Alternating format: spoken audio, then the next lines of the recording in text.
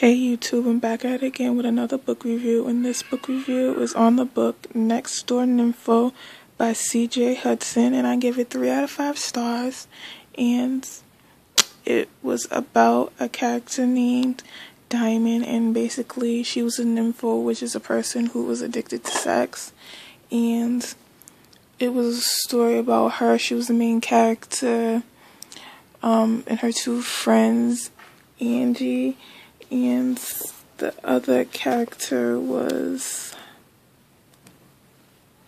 Essence, and um, it just started off how, you know, Diamond, she was a very aggressive person, and, you know, they, all three of them, kind of felt some sort of way about each other, like, um, Angie and Essence wasn't too sure about Diamond, but you know they were friends, and it was just this. This book had a lot of sex in it, and it was just basically Diamond. She just had sex with any and everybody, and um, it was told that all three friends loved sex, but Diamond was really just out there and you know there was Essence and you find out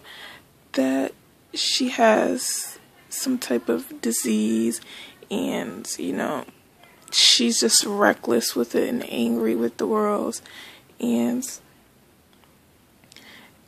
basically you know Diamond, she just doesn't care about anyone. You you find out secrets that she's hiding.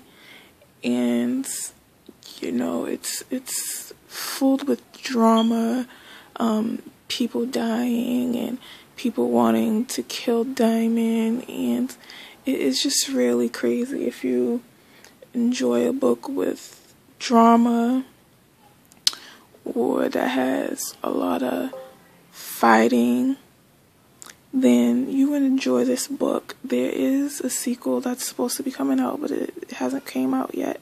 So I would say check this book out. It was decent.